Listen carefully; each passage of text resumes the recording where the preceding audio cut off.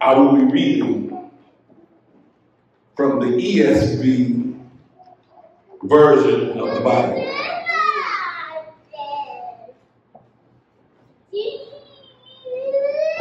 It's so good to hear the voice of the children. Amen. Obadiah, verse 1. The vision of Obadiah. Thus says the Lord God concerning Edom. We have heard a report from the Lord, and a messenger has been sent among the nations. Rise up. Let us rise against her for battle. The word of the Lord is blessed. Amen. For a few moments, I want to talk to you and encourage you from the subject. Rise up. Rise up. We have all experienced situations that have left us feeling spiritually disconnected, spiritually crushed, and spiritually drained. Some of us have been so spiritually and physically depleted that we have contemplated throwing in the towel by leaving the church, cutting ties with those who have wronged us, walking away from the call of ministry, and simply being content with an existence disconnected from the complications of life. Have you ever been there? As we endure struggles that lead to our fruitfulness, there is going to be suffering in the natural and the spiritual. And sometimes we may feel like the suffering may never come to an end. Sometimes, Reverend Slater, we even pray that God would step outside of his will and simply move a little bit faster to accommodate our will in the middle of our crisis. Because we long for deliverance from a life of despair and desperation. If we allow it to,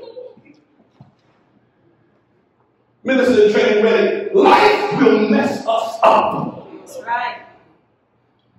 It will cause us to lose momentum.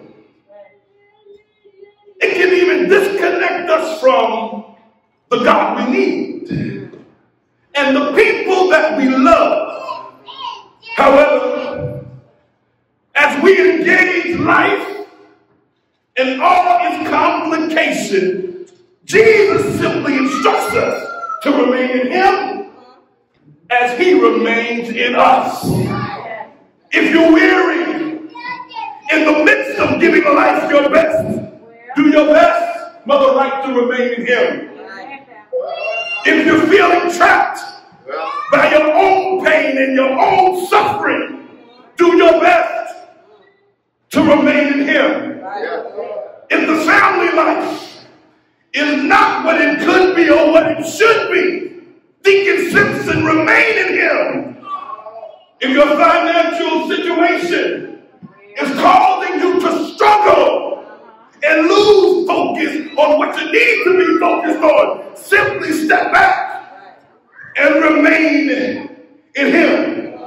If the pressure of producing has you perplexed, do your best to remain in Him. And if you feel like life is falling apart, don't give up.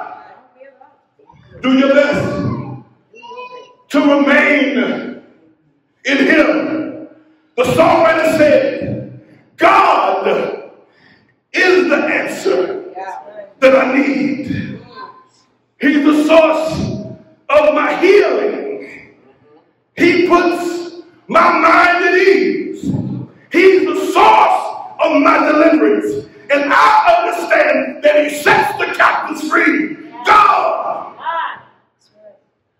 is the answer that I need. See, when I think of struggle, the death of my father had to be one of the most complex and dramatic times in my life. It seemed like I was experiencing life in a thick, unmovable fog. It was a lonely time. It was a dark time. And the memories of the grief and disconnection sometimes show up uninvited. Even though it was a time of hurt and a time of storm, I realized that God didn't end my father's existence. But what God did was elevate him to a higher plane. Amen. Lord, lift me up and let me stand. Yeah. By faith on heaven's tableland, a higher plane that I have found. Yeah. Lord, place my feet on higher ground. But see, in doing this, God had to remove my father from our lives as we know it. Yeah. But what God did, and I want you to walk with me this morning, what God did was use the fruit in my father's life to make something new. All right now. It was new and it was efficient for a time we had yet not experienced. My brothers and sisters, I want you to understand that being fruitful is not the end. All right. All right. Simply ask yourself, how sweet is my juice? All right. Is the juice that comes from my fruit beneficial for kingdom building? All right. To the Lord used my father as the seed that would bring about something new. And God is using us on today to bring about something new. All right. You may not see it tomorrow, but the fruit and its juices may be used later on in this time. Ask yourself, how sweet is the juice? But even though I have experienced this loss daily for 25 years, and the loss of a parent is truly overwhelming. But I come out here to let you know that God can use your loss, your grieving, and your despair for your good. The Bible says, you know, that all things work together for good to those who love God. Do I got five folks who love God up in here, up in here? Those who are called according to his purpose. The good that God can and he will produce can turn earthly disconnection in our lives into a supernatural experience for kingdom building. All right. What I'm trying to say, Hope Missionary Baptist Church in a dark place. We've all experienced a world that tries to tear us down, and we all stood at death's door and looked over into the abyss of eternity. But in the midst of these moments of helplessness, God hasn't allowed us to be consumed. And I'm asking you on today to rise up. Yeah, God. Yeah, God. Yeah, God. Obadiah, the servant of Yahweh, the true and living God. He serves as a shepherd, as a real prophet. In the time of tribulation in the life of Judah, through Obadiah, God sent a strong message of condemnation to Edom, which is the house of Esau.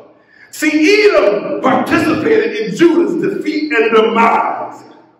But these words of condemnation to Edom were words of hope to Judah. Obadiah was a prophet to whom God gave a word to speak against Edom that was encouragement for his people.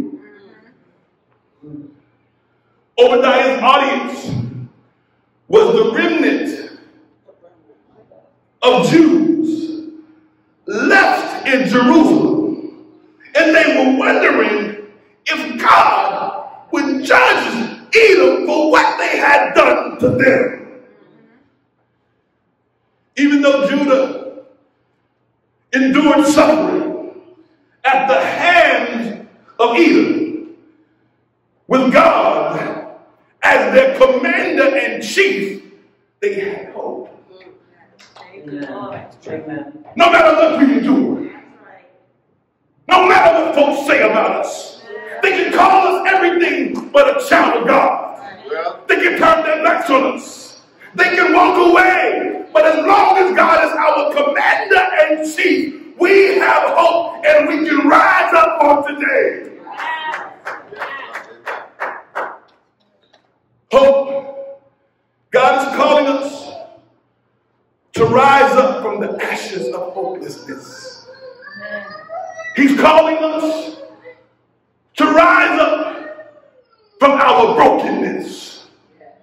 He's calling us to rise up against the hurt that we have experienced. He wants us to rise up from disappointment. He wants us to rise up from rejection and be a spiritual lighthouse in the darkness that will be, that will draw the lost to him.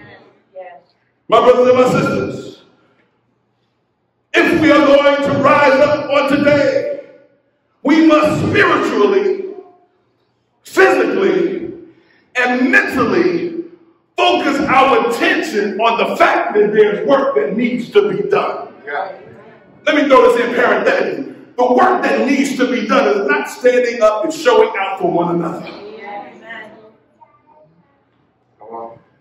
If we're going to rise up on today, we must supply ourselves, ourselves with the essential tools to spiritually, physically, and mentally be effective in relationships and in ministry.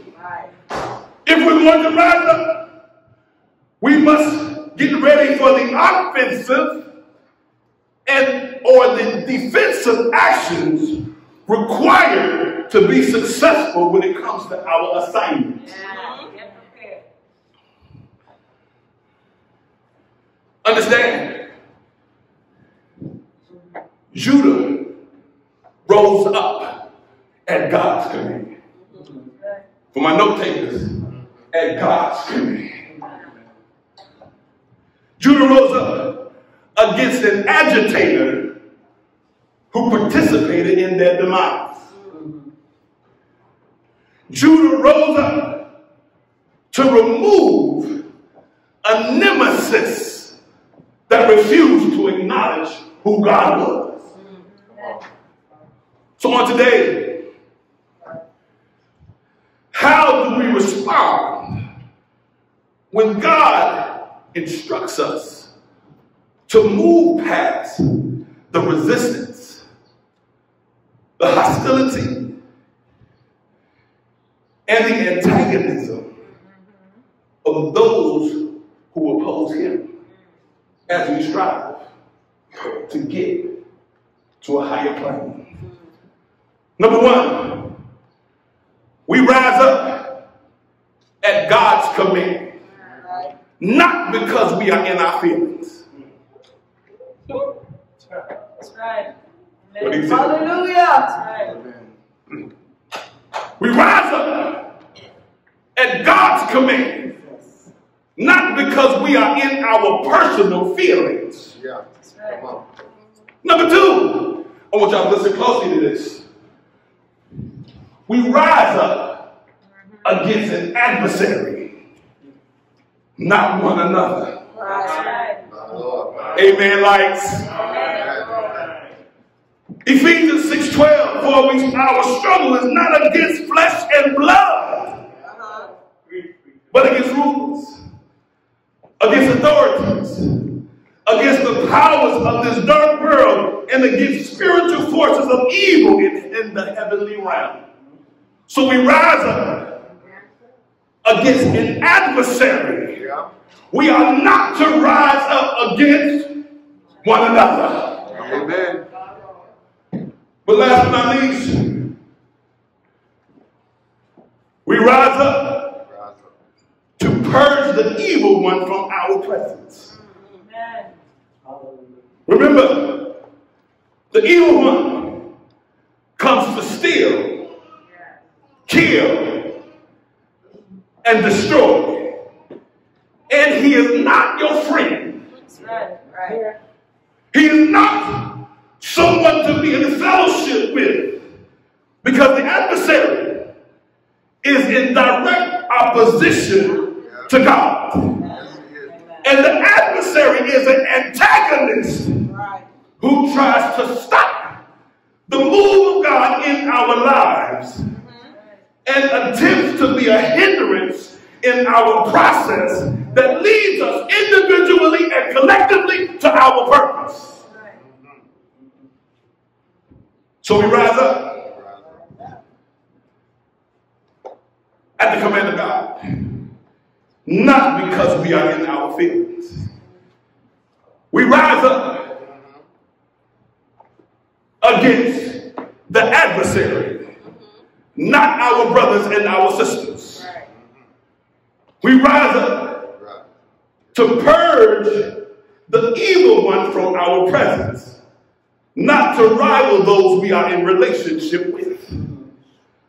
Understand on today, the world needs you to become a fire that is willing to rise up at God's command. The world needs you to become a fire that lets the enemy know you are equipped and ready for action. The world needs you to become a fire that is not trying to consume one another, but are intentionally striving to be there for one another. The world needs you to be a fire that is ready to swiftly escort the enemy out the door of your life and the life of your brothers and your sisters. Understand on today, and I'm going to be out your way. Are going to be hard times. There are going to be moments of uncertainty. There's going to be complications. There are going to be unforeseen circumstances. There will be affliction. There will be trouble. There will be doubt in your life, in the church. There will be disagreements. There will be moments of discouragement. There will be fractured relationships. There will be pain. There will be time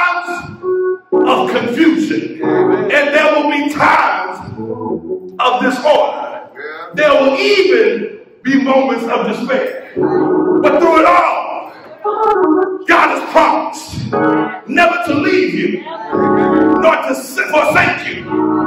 Through it all, God is a burden bearer.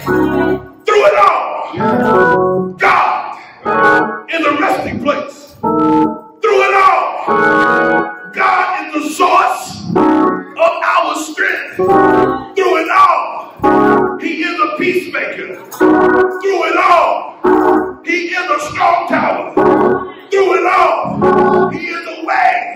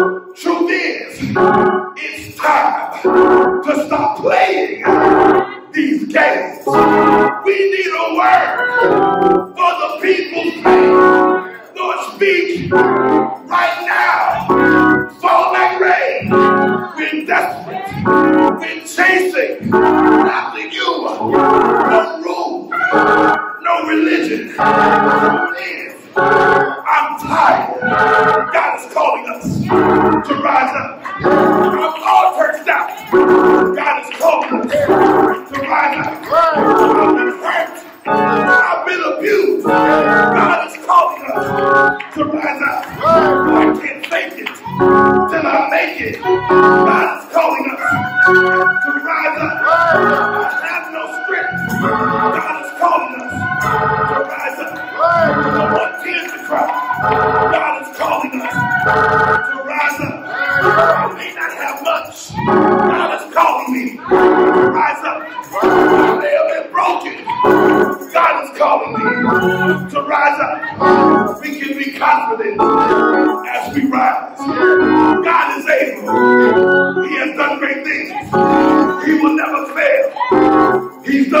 things. He's a mighty God. Yeah. He's done great things. Yeah. All sufficient Savior. He's done great things. Yeah. Greater than anything. He's done great things. Greater than all we have. He's done great things. He's higher than the love. He's defeated the grave. He's our light yeah. in the darkness. Yeah. He's above everything we know. Yeah. He's far above all we hope.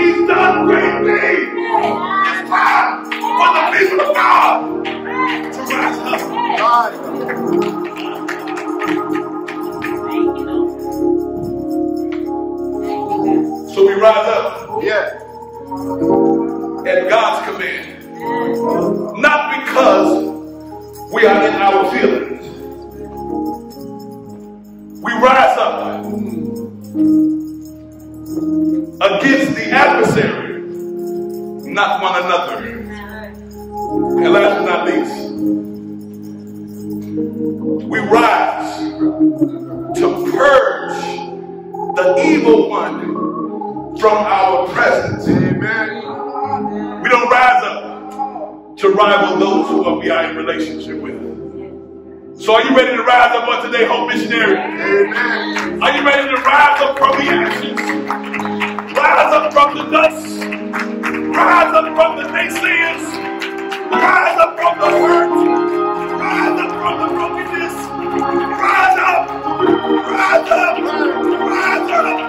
Rise up. God you.